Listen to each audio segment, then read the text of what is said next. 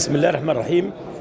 سنة حسنة أطلقها النقيب العام الأستاذ عبد الحليم علام رئيس اتحاد المحامين العرب بأن تكون القرارات الصادرة من النقابة العامة بعد التشاور مع النقباء الفرعيين وتحديدا كل شهر بمح- بمحافظة أو بنقابة ويحضر جميع النقباء الفرعيين يتوصلوا إلى الحلول المثلى لخدمة المحامين وكان نتاج ذلك أن أصبح استخراج الكارنيه والبطاقة العلاجية والشهادات واستمارات البطاقات من داخل النقابات الفرعية وهذا حلم طال انتظاره.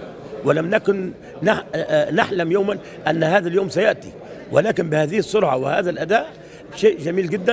إن شاء الله بقية القرارات رسوم ال- العقود والعلاج والصعوبات التي تقابله وكيفية إعطاء كل محامي حق في العلاج هو ما نسعى إليه الآن وإن شاء الله هناك قرارات صادرة في هذا الشأن بالإضافة إلى دمغة المحاماة التي تلصق على التوكيل لابد وأن تحصل من وزارة العدل في هذا الشأن. إن شاء الله القادم أفضل ال- ال- ال- النقباء الفرعيين والنقيب العام وأعضاء مجلسه بالكامل كلهم على قلب رجل واحد للوصول إلى خدمة المحامين.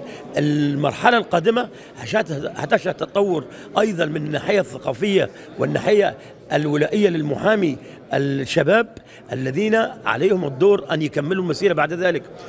في ناحية الثقافة وناحية ال- البروتوكول اللي هيحدث الم- آه، مدونة السلوك وهي كلها في صالح المحاماة.